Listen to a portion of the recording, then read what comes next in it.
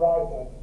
So, it just mentions here at the bottom, there is an exception, that's at the top, if ln x is one of the terms, you need to differentiate it. So I'm going to differentiate ln x. So my u is ln x, and my dv dx is x.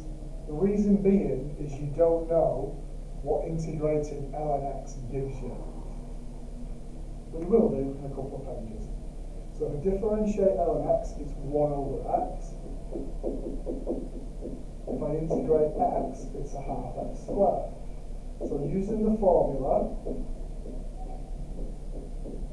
which if you write it out every time is useful, so uv is them two times together, it's a half x squared ln x, I'll tidy it up, minus the integral of these two times together.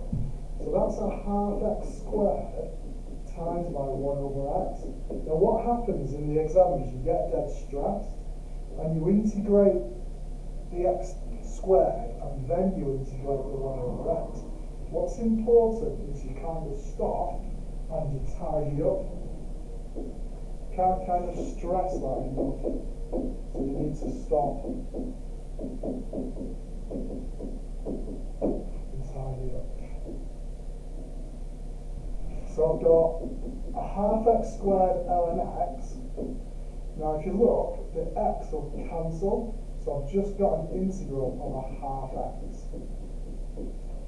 So that will give me a half x squared ln x minus, now the x is going to become an x squared over 2. I already had a half of it, so it's going to be a quarter. x squared plus c. There we go. So I'll do similar with this one.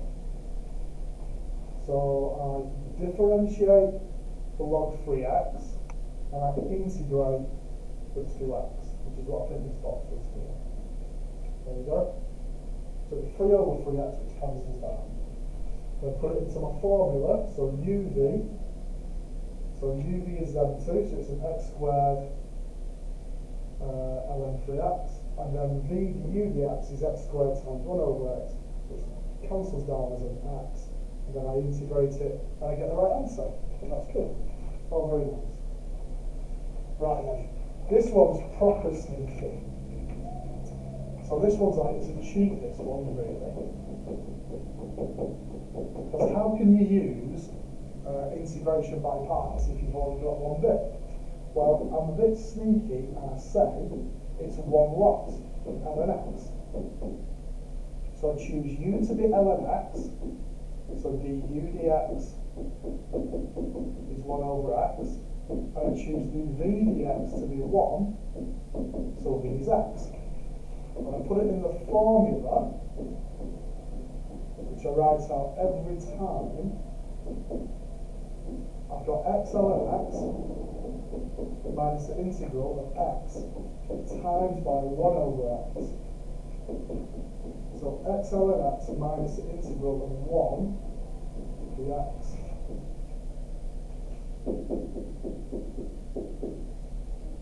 So if I integrate the 1 minus x plus c.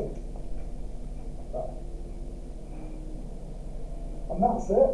It's nice. So now you know how to integrate mode is x over x minus x. Uh, so there's some consolidation questions which we'll work out in, um, in the lesson. So well done everyone. Bye bye.